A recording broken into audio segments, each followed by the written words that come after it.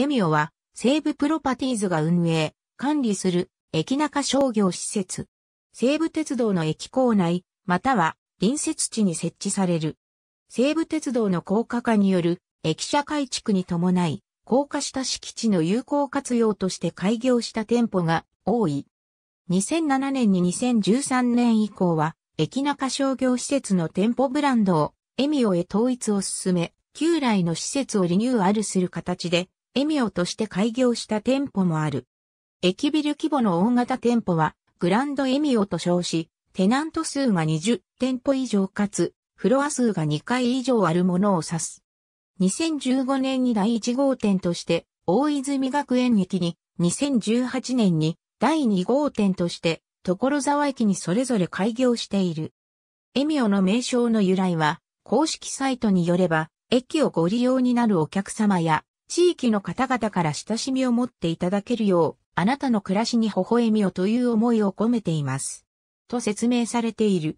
また、微笑みは、西武グループのコーポレートスローガン、出かける人を、微笑む人へにも由来する。店舗名称は、エミオの後ろに駅名をつけ、エミオで統一している。すべての店舗で、パスも電子マネーとポイントカード、西武プリンスクラブが使用できる。エミオで最も早く開業した施設である。施設と駅の出入り口が離れている。エミオ練馬高野台を練馬高野台駅改札口から眺める。西武池袋線の高架橋下に駅舎と直結する形で開設された。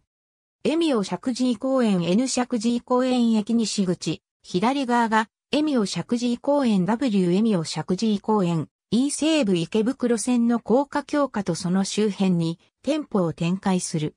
大泉学園駅周辺再開発に伴い、再開発ビル、リズモ、大泉学園の低層部分に開業。高層部分は超高層マンション、プラウドタワー、大泉学園となっている。リズモの名称は、大、ラージ泉、泉に、和、和を表す、王を組み合わせて、リズモと命名した。大泉学園駅北口改札からペデストリアンデッキで直結。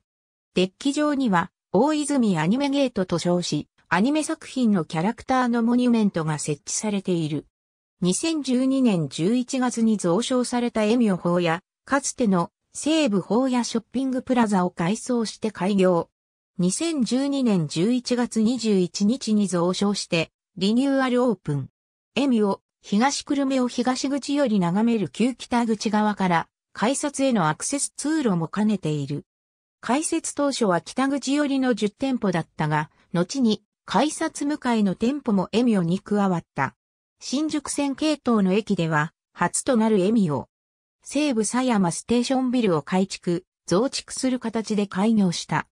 西武狭山ステーションビルは駅東口にあったが、開設時より東口、西口両側の店舗ともエミオとなっている。トンカツ、和幸、ビドフランス、キャンドゥは、西武狭山ステーションビルのテナントでもあった。トンカツ、和幸、ビドフランスは2011年3月のエミオ、開業当初から入居、キャンドゥは2014年8月に再入居している。グランドエミオ所沢正面、入り口グランドエミオ所沢の前景2012年6月21日にエミオ所沢としてオープン。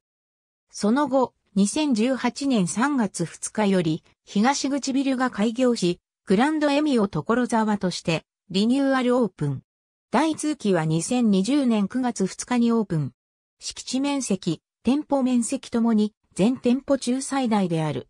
ビッグボックス高田馬場のリニューアルに際し、同ビルの1階2階に開設された。ひばりが丘南口交通広場から駅舎とエミオ、ひばりが丘を眺める。既存の店舗をリニューアルする形で、エミをブランド化した店舗。ひばりが丘駅駅舎の改装工事に伴い、2018年3月21日より、全店舗が休業。2021年度の完成を予定して、増床と既存店舗の改修工事を実施している。既存の店舗をリニューアルする形で、エミをブランド化した店舗。西武田無ステーションビルの閉店、改築以降、駅ビルには名称が存在しなかったため、17年ぶりの事実上の復活となる。ただしそのまも仮駅舎だった時期以外は駅ビルの店舗は存在している。施設内外のデザインは関東ローム層をイメージしている。2013年10月22日に増床して拡大オープン。エミオ、武蔵関3階入り口、西武武蔵関、ステーションビルを改装する形で開店。モスバーガー、スーパー三徳、キャンドゥは、西武武蔵関、ステーションビルのテナントでもあった。その他の店舗は2015年10月のエミオ開業より入居している。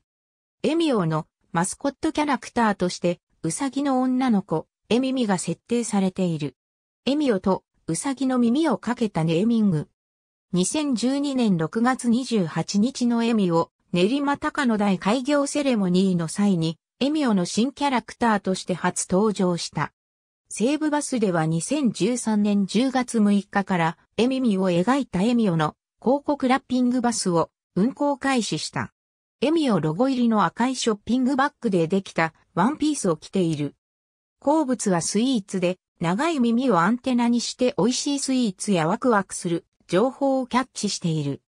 キャラクター紹介では一人でいるのも嫌いじゃないけれど本当はちょっとだけ寂しがり屋さんみんなとお友達になりたいと思っています。と述べられている。エミミの着ぐるみがイベントなどに登場することもある。